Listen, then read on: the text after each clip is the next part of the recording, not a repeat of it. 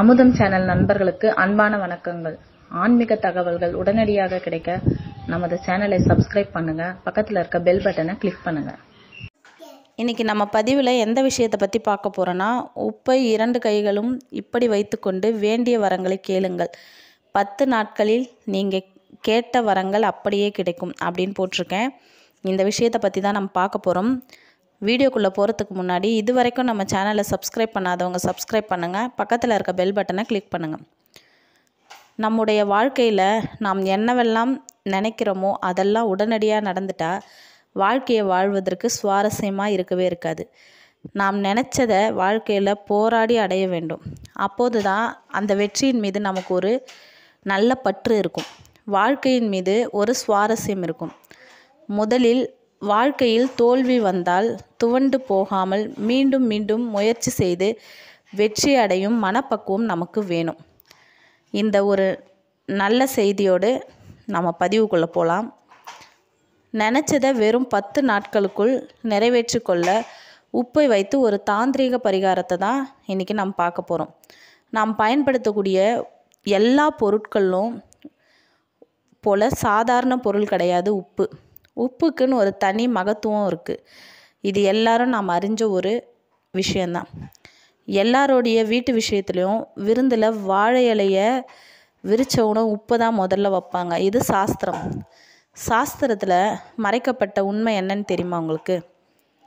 நாம் ஒருவருடைய வீட்டு விஷயத்துக்கு செல்லும்போது கட்டாயமாக அந்த வீட்டில் இரு நடக்கக்கூடிய ஒரு தடபுடலான ஆரம்பர ஏற்பாடுகள் வந்து நம்ம நிச்சயமாக அதிசயித்து வியப்புடன் தான் பார்ப்போம். இவ்வளோ நன்னா இந்த விசேஷம் நடக்குதே அப்படின்னு நம்ம நினைப்போம். அந்த கண் திருஷ்டியானது அவங்களுடைய வீட்டில் நடக்கும் அந்த நல்ல விசேஷத்தை பாதிக்கக்கூடாதுன்றதுக்காக தான் இலையில் முதல்ல உப்பு வைக்கிறாங்க. விசேஷ வீட்டுக்கு வரவங்க வந்து கெட்ட எண்ணத்தையும் நல்ல எண்ணத்தையாக மாற்றக்கூடிய சக்தி வந்து அந்த ஒரு கை சிட்டிகை உப்புக்கு இருக்குது இதை தான் நம் முன்னோருங்க சாஸ்திரம்னு சொல்லி உப்பில் இருக்கக்கூடிய உண்மையை அப்படியே மறைச்சிட்டாங்க. சிட்டிகை உப்புக்கே இத்தனை மகத்துவம் இருக்குன்னா அப்போது நம்ம செய்கிற பரிகாரத்துக்கு எவ்வளோ மகத்துவம் இருக்குன்னு நீங்களே பார்த்துக்குங்க. சரி நினச்சதை சாதிக்க கல்லுப்பை வச்சு செய்யக்கூடிய பரிகாரத்தை பார்க்கலாம். தினமும் காலையில் பிரம்ம முகூர்த்தத்தில் நாலரை மணிலேருந்து ஆறு மணிக்குள்ளே இந்த பரிகாரத்தை செய்யணும். காலையில் நீங்கள் எழுந்து சுத்தமாக இருந்தால் குளிக்க வேண் அப்படின்ற அவசியம் கிடையாது. பல்லு தேய்ச்சி முகம் கை கால்லாம் அலம்பிட்டு ரெண்டு கையிலையும் கல்லுப்பை ஒரு கைப்பிடி எடுத்துக்கிட்டு சம்மணம் போட்டு அமைதியான இடத்துல வடக்கு திசையை பார்த்து உட்காந்துக்கங்க ரெண்டு கையிலையும் உப்பை வச்சுக்கோங்க.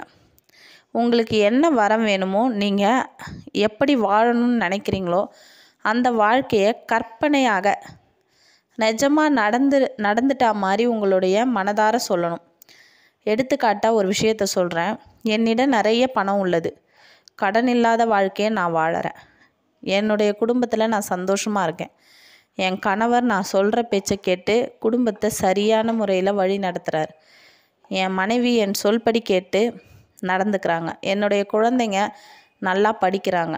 இப்படி ஒரு நேர்மறையான உங்கள் வாழ்க்கையை பற்றி நீங்களே எப்படிலாம் நீங்கள் வாழணும்னு விரும்புகிறீங்களோ அதன்படி நீங்கள் வாழ்ந்து கொண்டிருப்பதாக நினச்சிட்டு மனசார நினச்சி வாயார உச்சரிக்கணும். உள்ளங்கையில் உப்பை வச்சுக்கிட்டு நீங்கள் சொல்லும் இந்த வார்த்தைக்கு அதுவும் பிரம்ம முகூர்த்தத்தில் உச்சரிக்கக்கூடிய வார்த்தைக்கு உயிர் இருக்குது உங்களுடைய இல்லற வாழ்க்கை எவ்வளோ மோசமாக இருந்தாலும் பத்து நாட்களில் நீங்கள் வேண்டி கொண்டதுபடி நல்லது மட்டுமே நடக்கும். கையில் இருக்க உப்பை வேண்டுதலை முடிஞ்சவுடன் தண்ணீரில் கரைச்சிருங்க. இந்த பதிவு உங்களுக்கு பிடிச்சிருந்ததுன்னா நம்ம சேனலை சப்ஸ்கிரைப் பண்ணுங்கள் லைக் பண்ணுங்கள் உங்கள் ஃப்ரெண்ட்ஸுங்களுக்கும் ஷேர் பண்ணுங்கள் நன்றி வணக்கம்.